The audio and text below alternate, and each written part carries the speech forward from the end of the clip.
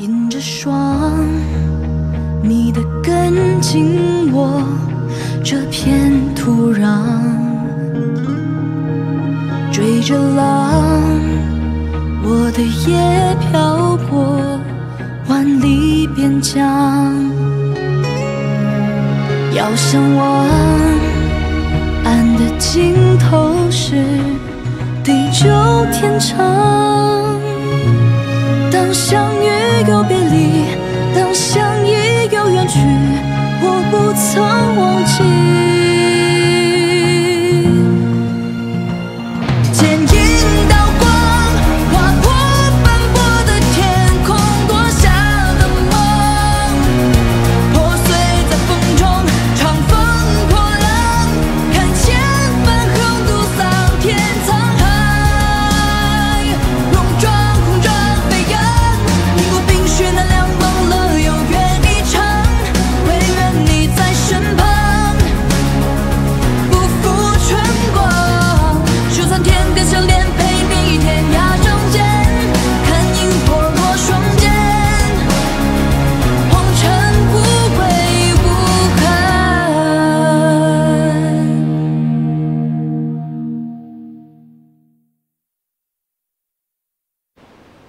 接到殿下的帖子，深感殿下雅意。殿下说得了两团好茶，邀我共赏，我就毫不客气前来叨扰了。顾相客气了，这还有两株老梅庄盆景，是裴元到了毕州之后，派人给我送过来的。虽不值钱，但颇有意趣。我是个粗野之人，不懂这些花月之事，但我听闻顾相画梅乃是京中一绝，所以这两株老梅庄盆景放到我府里实在是可惜，回头一并送到故相府中去。啊，多感殿下圣意，却之不恭啊！对了，这崔乙的女儿崔氏女要觐见陛下之事，礼部还没争出个分晓吗？不只是礼部争执不下，现在啊，连兵部也掺和进来了。兵部说，崔家军在前方抗敌打仗，崔氏女可以视作大将军之子去觐见陛下。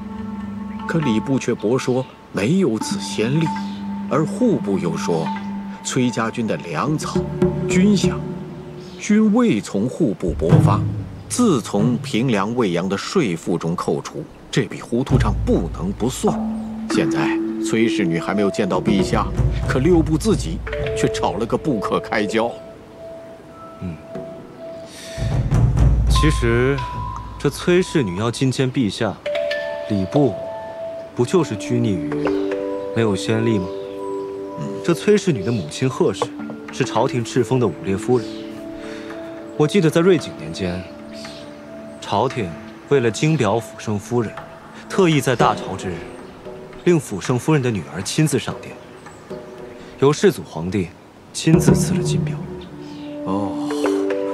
殿下真是一语惊醒梦中人呐，确有此先例。嗯，既然如此，那崔氏女便可以上殿觐见陛下了。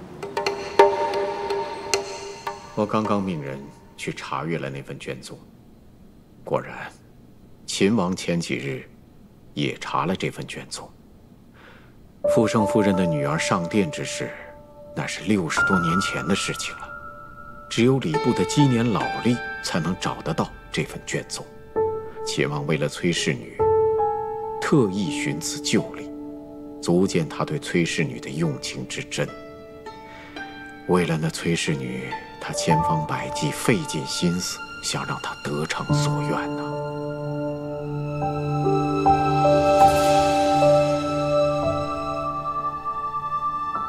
婉儿，你是个聪明的孩子。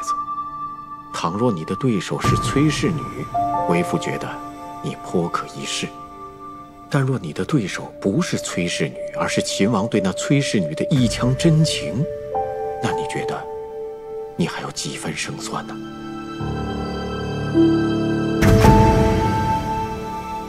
是都不是，就自认失败，那便不配当父亲的女儿了。何况世事难料，纵然秦王对崔氏女有情，但如果崔氏跋扈欺君、通敌叛国，那别说是择婚皇子了，就应该被株连九族。崔乙这个人呢，说他跋扈欺君或许会有，但说他通敌叛国，那倒不至于。父亲，开国左武卫大将军樊国公柴洪被指通敌叛国，最后被问斩皆是。就连堂堂开国大将军樊国公都被指通敌叛国，那崔乙怎么就不可能呢？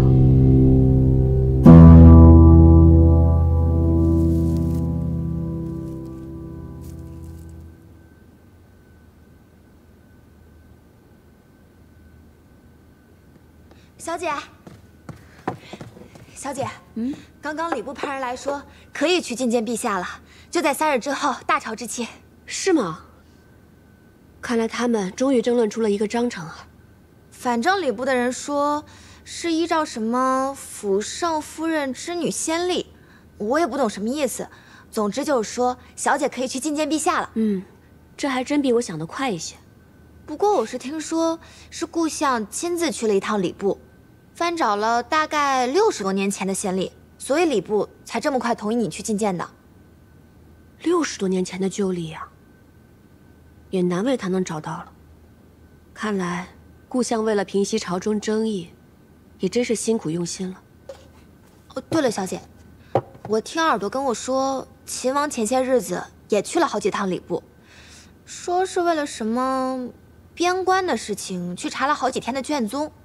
哎呀，你也知道那些卷宗啊，都多少年没人碰过了。他们翻找了几天，弄得灰头土脸的。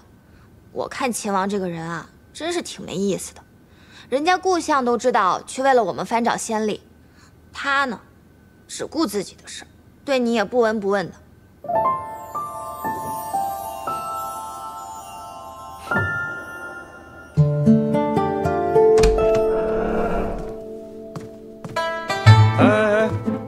这，你今天怎么穿成这样？